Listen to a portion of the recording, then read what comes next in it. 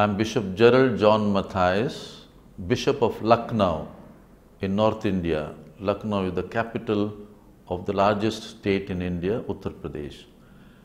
And I'm here along with about 38 other bishops for the Ad Limina visit. Ours is the first batch of the Indian bishops to come for the Ad Limina visit. And we're very happy to be here visiting on the second day of our Ad Limina visit, visiting the dicastery of laity, family and life. We're quite impressed about the Cardinal, Cardinal Farrell's address to us, a message of great hope in spite of the various challenges or problems that we face in our own country. He gave us hope that we must take little by little, one family or one individual at a time, in catechizing, in bringing a change, in empowering the laity, promoting family values, or protection of the dignity of human life.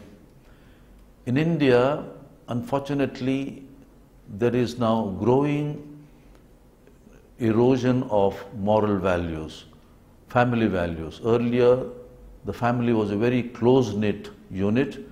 There was joint family, many members living together in peace and harmony.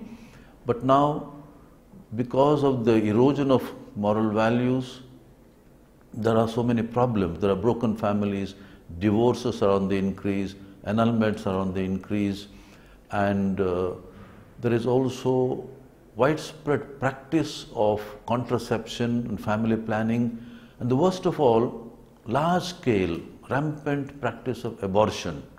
And among the abortion, there is what we call selective abortion of girl children, female feticide. And it goes into millions. They say roughly about 15 to 16 million abortions take place in India alone. That amounts to about 10 to 12 percent of the world's abortions. And most of them, unfortunately, sadly, are uh, female feticide because there is a mindset uh, of anti-girl child. Because girl is considered in the Indian situation in general in the society as a burden to the family. Because while giving the girl in marriage she has to give a, or the family has to give a big huge dowry. And they cannot afford that. So they try to eliminate a future problem by uh, eliminating the girl children. So some they may tolerate one child, one girl child, some of them don't want at all, they want only boys. And this has influenced also the Catholics, although it's a general uh, culture in the country, but Catholics also practice widespread contraception and family planning, including abortion. And um, there are other challenges now the government has uh, not only legalized abortion, also passive euthanasia is uh, legalized. They have also decriminalized the homosexuality.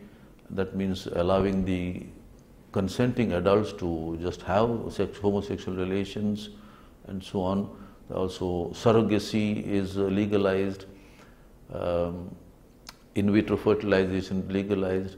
So similar, so many things are uh, legalized by the government and then for us the Catholics to have any contrary view and also teach, of course to, we can teach our Catholics, we do teach our Catholics what is the right thing according to the church's teaching, but then when it comes to larger uh, society, the Hindus particularly, then it becomes very difficult to convince them of what the church is teaching.